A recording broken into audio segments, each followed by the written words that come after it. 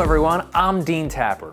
I'm with Waterbox Live and we're starting a new series today on how to maintain your water box. It's time now for our first water change on the Waterbox 20 Cube. Check it out. It's very important to do water changes at a bare minimum of once a month at 20% volume. The reason for this is the phosphate and nitrate levels continue to rise as you feed your tank, and it's very important to continue to keep those levels low. Water changes are also important to replace vital elements in your reef aquarium, such as calcium, alkalinity, and magnesium, as well as other minor trace elements that corals need to grow. Some of the materials you're going to need to do your maintenance include a possible magnet scraper, a handheld scraper, and maybe an old toothbrush that you're not using anymore.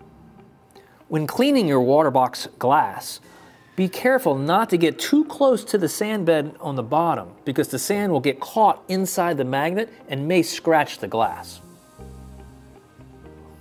When it's time to scrape the algae close to the sand bed, use a scraper like this so that you get right down in there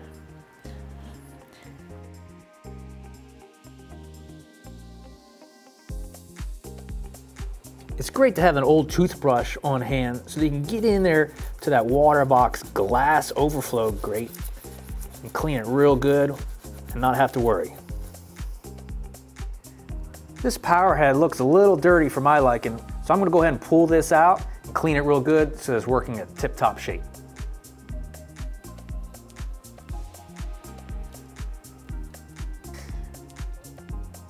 Now that we have scraped all the algae from the water box, it's now time to shut off the main pump and siphon out 20% of the water into a clean bucket.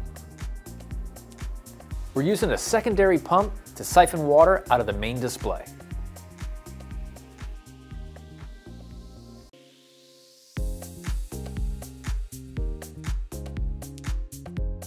So now that we have siphoned out the five gallons of water from the water box, Take your pump and tubing and place it inside the bucket of clean salt water that was already prepared ahead of time.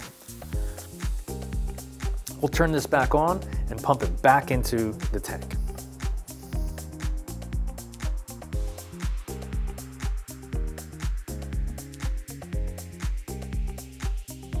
Now that we've completed our water change, it's now time to change out the Micron sock. Be sure to use a water box filter sock that are only available on the Cube series. It's important to replace the filter socks in your water box regularly. The filter sock helps collect the particulates and organics that build up in the tank, also uneaten food. We want to quickly remove them out every time you do a change.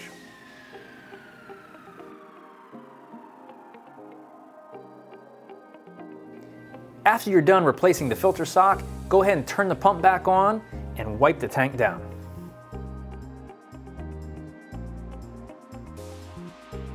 Now that you've wiped the tank down, the water may be a little cloudy. That's okay. It will clear up in just a few hours with that new filter sock. Remember, continue to do this maintenance every 30 days to maintain optimal conditions.